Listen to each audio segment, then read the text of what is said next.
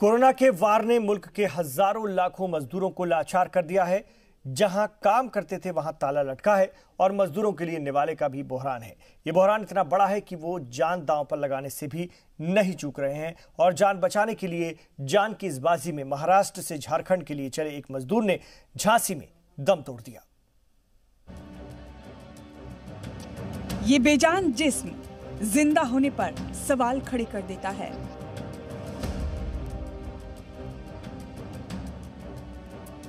ये थम चुकी साँसें हज़ारों सवाल करती हैं।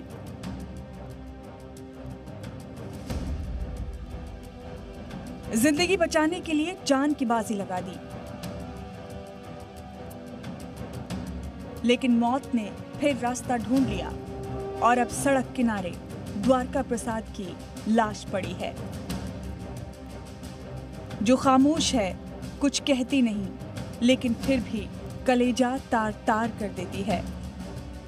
भिवंडी से झारखंड के लिए चले द्वारका प्रसाद के साथ दोस्तों की टोली थी। भिवंडी में रोटी का बहरान बढ़ा तो झारखंड अपने घर की जानिब निकल पड़े। ट्रक पर बैठकर दोस्तों के साथ सत्तर से ज़्यादा लोग ट्रक पर सवार थे।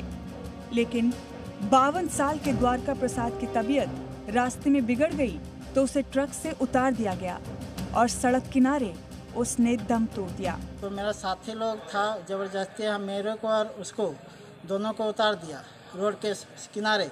तो पास में पेट्रोल पंप था तो मैं पेट्रोल पंप के पास से एंबुलेंस का नंबर ले फ़ोन करवाया।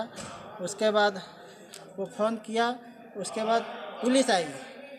पुलिस आई, उसके बाद तुरंत एंबुलेंस आया। उसके बाद एंबुलेंस ले, में लेके झांसी सिविल हॉस्पिटल में लाया गया और उसके बाद डॉक्टर ने उसको मृत घोषित किया। ये मजदूरों की मजबूरी है, जहाँ ज़िंदगी उन्हें मौत से भारी लगने लगी है। रोज़गार छिन चुका है तो भूख का बहरान सांसों से बड़ा होने लगा है और उसी भूख से बचने के लिए द्वारका प्रसाद ने शायद मौत को गले लगा लिया। Bureau report, Zee media.